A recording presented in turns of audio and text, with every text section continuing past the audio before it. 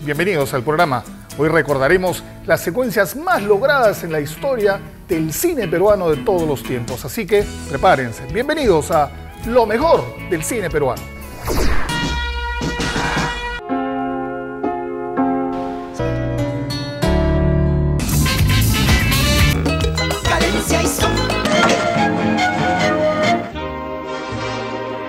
Parece increíble creer que solo dos años después de la primera proyección de los hermanos Lumière a nivel mundial, se realizó la primera función de cine en el Perú un sábado 2 de enero de 1897 a las 9 de la noche en la Confitería Jardín Estrasburgo, en donde hoy está el Club de la Unión en la Plaza de Armas, con la presencia del presidente Nicolás de Piérola y varios de sus ministros.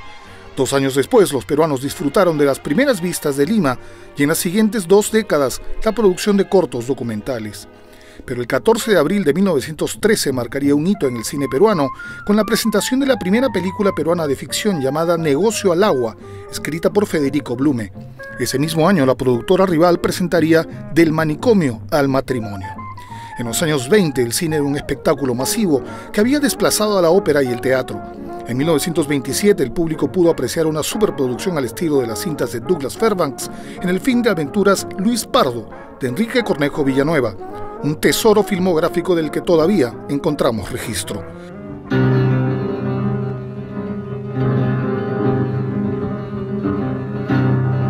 Otros títulos importantes fueron La Perricholi, Las chicas del Girón de la Unión, Mientras Lima duerme, como Chaplin, entre otros.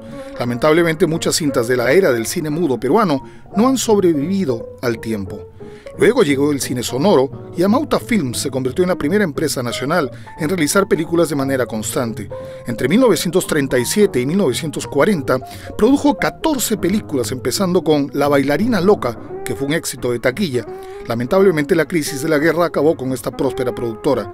Posteriormente el Cine Club del Cusco la reflotaría con cintas como La fábula andina de 1961, Cuculi de Luis Figueroa, César Villanueva y Eulogio Nishiyama.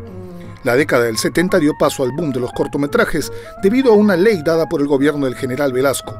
Paralelamente se elevó la calidad técnica y artística del cine nacional, pero ya desde mediados de los 60 el cineasta Armando Robles Godoy venía destacando con películas como En la selva no hay estrellas, Ganarse el pan, La muralla verde, Espejismo y Sonata Soledad, entre otras. Yo prefiero dentro de su filmografía La muralla verde, que me parece la película más acabada que él realizó. Pese a la crisis a fines de los 70, surgió una nueva generación de cineastas entre los que destacó Francisco Lombardi, Augusto Tamayo, Luis Llosa, Federico García, entre otros. El cine de antes era un cine de gente que le gustaba el cine y que jugaba a hacerlo. Algunas películas que han escrito las páginas de la historia del cine en el Perú son Avisa a los compañeros de Felipe de Gregorio en 1980, Tupac Amaru de Federico García en el 84, La fuga del chacal de Augusto Tamayo en el 87, Asia, el culo del mundo de Juan Carlos Torrico en 1992, Todos somos estrellas de De Gregori que luego hizo Ciudad de M en el 2000. El nuevo milenio ha sido muy productivo en cuestión al cine, debido al ingreso de la era digital que ha abaratado los costos y otorgado muchísimas posibilidades técnicas.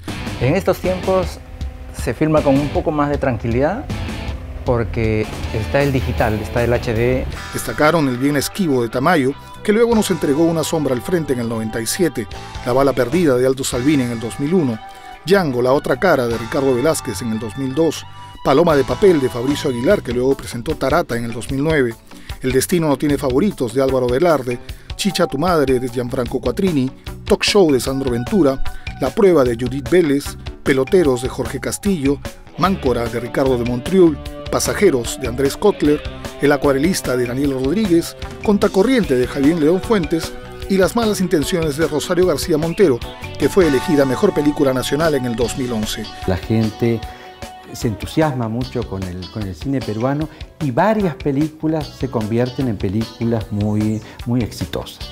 Muchas son las cintas que seguramente no hemos nombrado. Veamos las películas peruanas preferidas por los peruanos. La gente está caliente.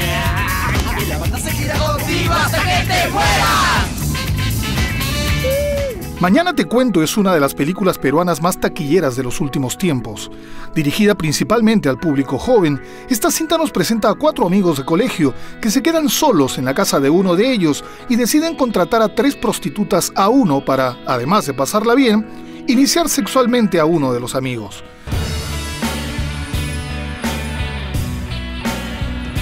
Todo va bien al principio, pero poco a poco cada uno de los muchachos va desinhibiéndose y dejando aflorar sus verdaderos sentimientos y todo no terminará como ellos habían planeado. Esta comedia ligera y divertida es el primer largometraje dirigido por Eduardo Mendoza de Echave y se estrenó en el 2005. En el reparto están Jason Day, Bruno Ascenso, Melania Urbina, Miguel Vázquez, Angie Gibaja, Oscar Beltrán y José Manuel Peláez. Oye, pero esa no está fea, me parece a Jennifer López. No seas baboso, gordo. Pones la foto de una modelo cualquiera, suéltame. Y se te aparece una enana así toda agarrada con diente de oro que te dice, yo chivolo, ven acá, sácate la ropa.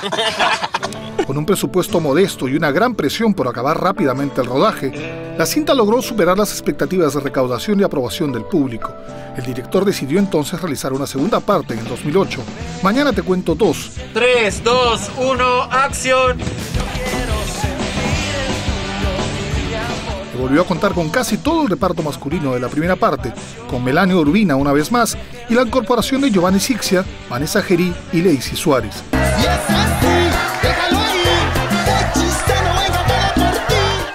Esta segunda entrega volvió a tener una buena acogida del público, pero no superó el taquillazo de la primera parte. Y yo les voy a contar la verdadera historia del pisco. Nuestro suelo, nuestro clima hacen posible que este brebaje sea nuestra bebida nacional. Finalmente, Eduardo Mendoza presentó en el 2011 su tercer largometraje, Bolero de Noche.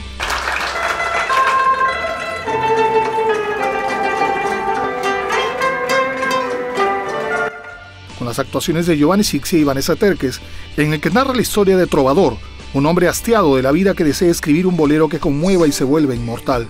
Para lograrlo, hará un pacto con el diablo.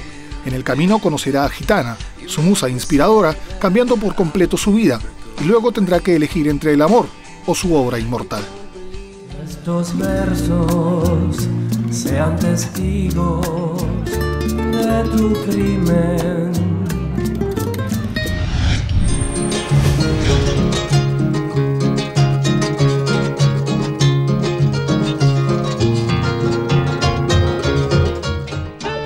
Los 80 el grupo Chasqui produjo dos buenas películas, Gregorio en el 84 y Juliana en el 89, dos personajes que simbolizaron a la niñez desamparada en un mundo de adultos que la explota o la ignora. Gregorio, interpretado por Marino León, cuenta la dramática historia de un niño de 12 años que llega a Lima con su familia desde la sierra en busca de una vida mejor. Durante ese difícil proceso de adaptación, el padre de Gregorio enferma y muere. Desamparado y con la necesidad de ayudar a su madre, el muchacho tendrá que dejar la escuela para trabajar en las calles. Es allí que encuentra una ciudad caótica y hostil y conocerá a un grupo de niños callejeros que le enseñarán a sobrevivir en la capital. Hay mucho tránsito, las casas son altos, hay mucho trabajo. Esa película nos abrió eh, las puertas al grupo, es una película que tuvo mucho, mucho éxito de, de- de público, mucho. Este, cifras que ahora son casi imposibles. Ganadora de varios premios en Cuba, España, Ecuador, Colombia y Suiza, esta cinta fue dirigida por Fernando Espinosa y Alejandro Legaspi. ¿Acaso ladrón serás? ¡Plata cochina en esta casa no! Dirigida por esa misma dupla, Juliana es la segunda apuesta de Chasqui por retratar la realidad de la niñez en las zonas marginales de la capital limeña. La la Juliana es una niña que trabaja en el cementerio, limpiando nichos y regando las flores. En casa las cosas no van bien.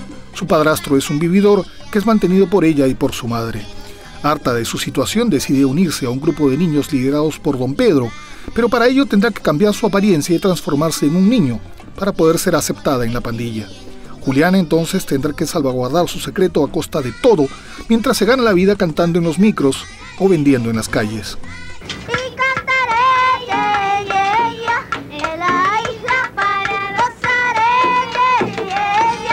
El film, que en el 89 convocó a más de 600.000 espectadores, fue interpretado por Rosa Isabel Morfino, una niña que vivía en un internado. Varios de los niños que actuaron en la cinta fueron sacados de las calles, en donde trabajaban como limpiacarros o ayudaban en los mercados.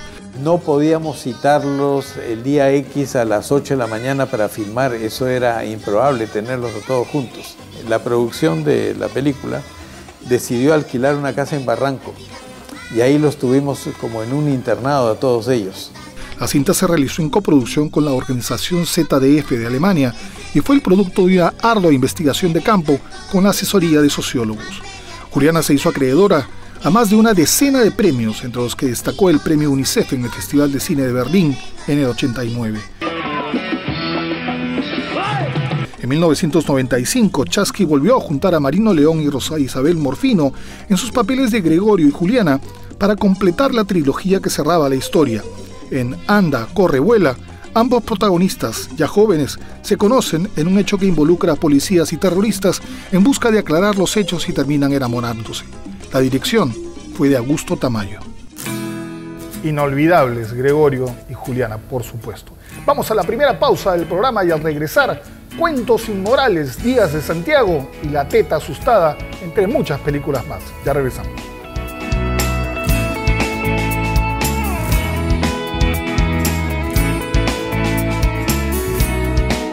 Lo mejor del cine peruano.